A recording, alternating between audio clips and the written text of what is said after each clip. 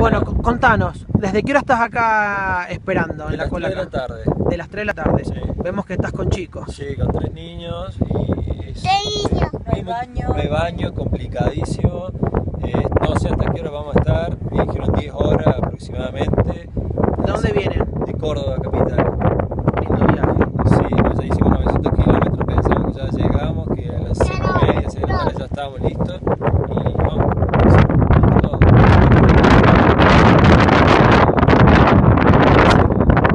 Muy antiguo sistema. Pod- podría ser un poco más ágil, ¿no? Sí, sí, obviamente. Hoy con la documentación nueva que tenemos, con el documento de ese carnet que tiene el código nuevo, podría ser mucho más ágil, pero no sé qué sistema están usando realmente. Este, Se podría agilizar, decís vos. Yo creo que sí, yo creo que sí. ¿Te imaginabas una cola? No, si no, ni vengo. No, ni vengo. Con tres chicos ni vengo. Ni vengo. Esto es. Para no. el baño, para comer. Sí, sí, sí. Ya no sé qué, qué hacer los chicos. Ir al baño es, te deprime porque decía, quiero, quiero ir a salir, no conozco dónde voy. Eh, voy de El noche. que alquilamos teníamos tiempo de entrar hasta las 11 y ya no llegamos, creo. ¿A qué hora tenías que llegar? A- antes de las 11 de la noche y creo que no llegamos, así que... Vos como mamá, contanos.